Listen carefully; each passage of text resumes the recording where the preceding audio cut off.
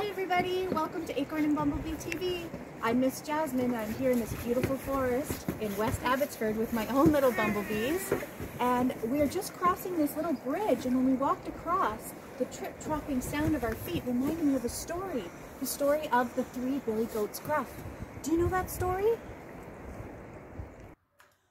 Once upon a time, there were three brothers, three billy goats. They were the billy goats gruff. There was the littlest billy goat, there was the medium billy goat, and then there was the biggest billy goat. And they had eaten all of the grass in the meadow where they lived. So they decided they were going to cross the bridge over the stream and get to the other side where there was a big, beautiful meadow just full of sweet, fresh green grass.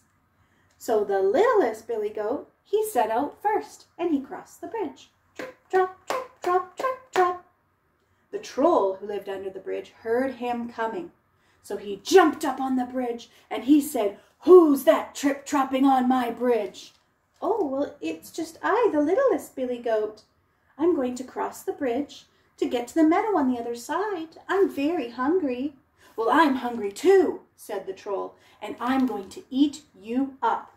Oh, don't eat me, said the littlest billy goat. You should wait for my medium brother. He's much bigger than I am, and he'll make a far better meal. Well, all right, grumbled the troll, and he let the littlest billy goat pass. Trip, trap, trip, trap, trip, trap and he got to the other side of the bridge, over the stream, to the big, beautiful meadow, and started to eat some of that delicious green grass. A little while later, his medium-sized brother came to the bridge, and he crossed it. Trip, trop, trip, trop, trip, trop. The troll heard him coming, jumped up on the bridge, and said, Who's that trip-tropping on my bridge? Oh, well, it is I, the medium, Billy Goat Gruff, he said. I'm going to cross the bridge over the stream to get to the other side to meet my little brother so we can enjoy some of that green grass. I'm so hungry. Well, I'm hungry too, said the troll, and I'm going to eat you up. Oh, don't eat me, said the medium-sized billy goat. You should wait for my big brother. He would make a far better meal than I would. Well, all right, grumbled the troll, and he let him pass. A little while later, the biggest billy goat came to the bridge and he crossed over it. Trip, trop, trip, trop, trip, trop. Well, the troll certainly heard him coming, jumped up onto the bridge and said, Who's that trip-tropping on my bridge? Well, it is I, the biggest billy goat. And who are you? Well, I'm the troll who lives under this bridge, and I'm going to eat you up.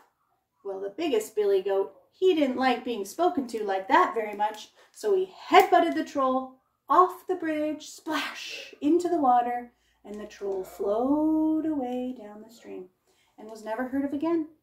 So the biggest billy goat finished crossing the bridge, trip, trop, trip, trop, trip, trop, met his brothers, and they all lived happily ever after in the big, beautiful green meadow.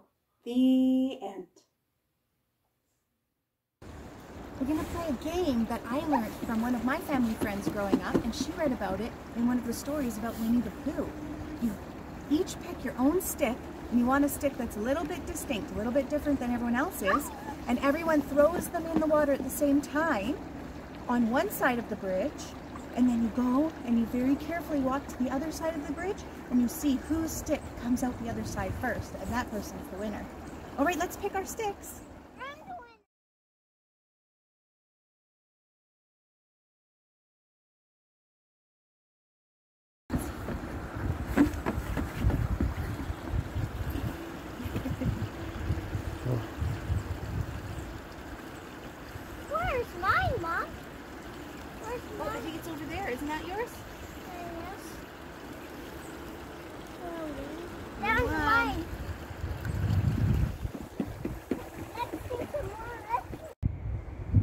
Sit down and have a little picnic in the forest here, and then we'll pack up and head home. And I just want to remind you that when we come to the forest, we're really careful not to step on any of the precious little flowers or plants that are growing. and we're going to leave nothing but footprints and take nothing but pictures. That means that we're not going to leave our garbage behind, we're going to take everything home with us, and we're not going to pick flowers or take things out of the forest that belong here.